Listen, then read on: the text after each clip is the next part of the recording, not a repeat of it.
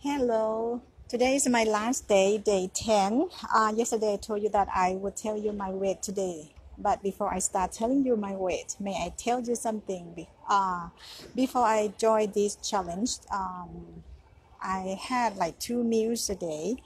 And with this challenge, I start having three meals a day. As you know, not only I want to lose weight, also I I want to find nutrition to replace uh, meat for me because I have stopped eating meat, like I said from the very beginning. Hello. Um, okay, let let me tell you my weight. My weight is um, still remain the same, 56 kilo, which I'm very okay because uh, first from two meals I have uh, instead of two meals I have three meals. My weight still remain the same. I'm very happy with that and also because I feel uh, lighter and firmer too. But after this challenge, I will go back to workout as well because I have stopped for quite some times already.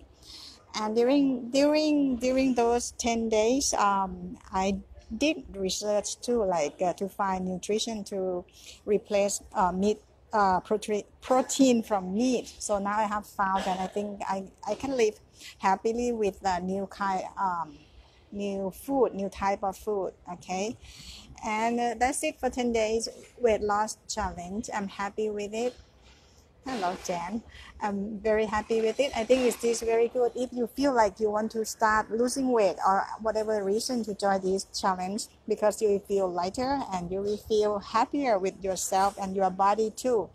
Thank you for keep watching my um, this challenge for 10 days and tomorrow see you on Paradise Show with Kent Dunn. Okay, I hope to see you again soon, everybody.